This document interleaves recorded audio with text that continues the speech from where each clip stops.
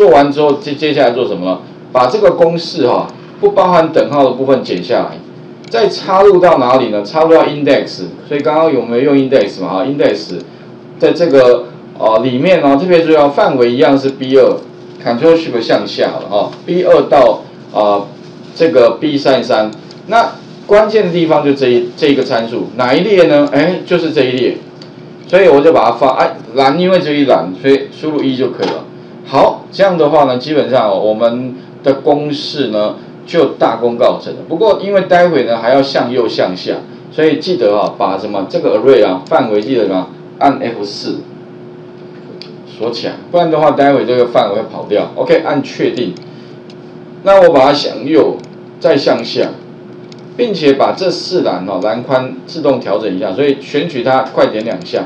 好，你会发现哦，很快的它就自动的帮我把所有的资料呢，通通都带过来。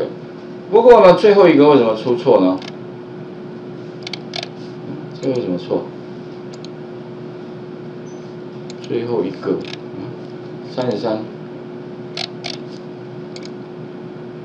三十三，B 二到 B 三十三，哎，没错。column，这个的话再看一下，理论上应该这个也会自动带出要的结果才对了。可是这边为什么三十三它带不过来？哦，哎，不过不过这个待会再看一下好了，看哪边？哎，不对不对，它这边变成内部号码啊，最后一个最后一笔好像我是不小心把它删掉了还是怎么样？哎，这边要三十四，哎不对啊，这样就多一笔了。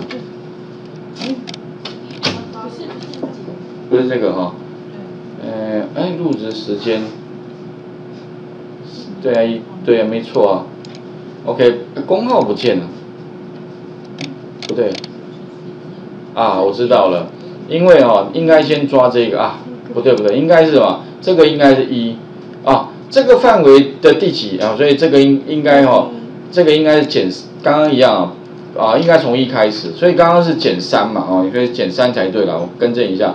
应该是减三，所以减这个范围里面的第几列哦，而不是指外面这个啊，除这个这个的第几列哦，好，所以刚刚特别注意哦，index 指的是这个范围的第几列哦，跟那个外面这个列无关哦，所以很容易混淆哦，我把它更正一下，好，所以这样应该就 OK 了，把它向右向下，所以呢，刚刚哦应该是要一到三十二才对，而不是二到三十三哦，这个可能要注意一下啊，最后一样哦，把它向右。